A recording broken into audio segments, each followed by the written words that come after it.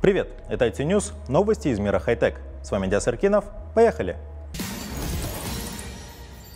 Принадлежащий Google сервис YouTube нашел новый способ бороться с блокировщиками рекламы, сообщает 9 to 5 Google. YouTube считает использование блокировщиков рекламы нарушением условиям обслуживания. Реклама для сервиса является огромным источником дохода, поэтому он борется с пользователями, которые не хотят платить за премиум подписку, а также не хотят смотреть рекламу. Пользователи Reddit обнаружили, что YouTube начал замедлять загрузку сайта, если включен блокировщик рекламы. Сайт может не только медленнее загружаться, но и не отвечать на запросы пользователя. У этой проблемы есть два решения – либо купить подписку или отключить блокировщик и смотреть рекламу.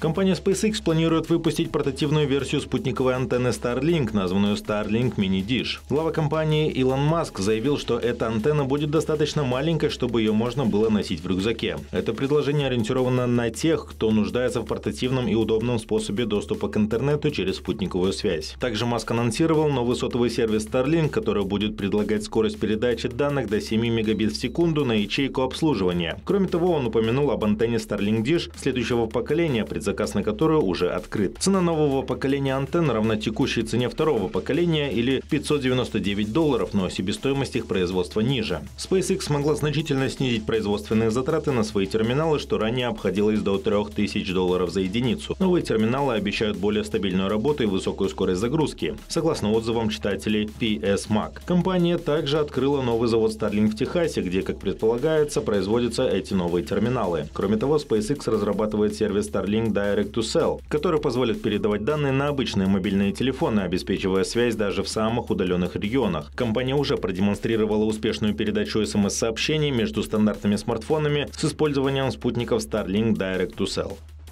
Агентство НАСА совместно с Lockheed Martin представило экспериментальный сверхзвуковой самолет X-59, разработанный для тихого полета на сверхзвуковой скорости. Это событие открывает перспективы для гражданской сверхзвуковой авиации, не создающей значительное шумовое загрязнение. X-59 выступил в белой ливрее с красными полосами на крыльях и эмблемой НАСА. Самолет предназначен для отработки технологии, позволяющей снизить уровень шума при преодолении звукового барьера. Первый полет запланирован на конец весны или начало лета этого года после проведения всестороннего всестороннего тестирования систем и проверки совместимости с наземным оборудованием. Важной частью испытания станут пробные полеты над несколькими американскими городами. Во время этих полетов специалисты НАСА установят датчики шума на Земле и проведут опросы местного населения, чтобы оценить восприятие шума от пролетающего самолета. Эти данные будут важны для дальнейшего развития сверхзвуковой гражданской авиации. Самолет X-59 обладает уникальным дизайном, направленным на снижение шума. Особенностью его конструкции является длинный нос, из-за чего кабина пилота расположена почти посередине самолета и отсутствие остекленения в направлении полета. Пилоту в ориентации помогают внешние камеры высокого разрешения.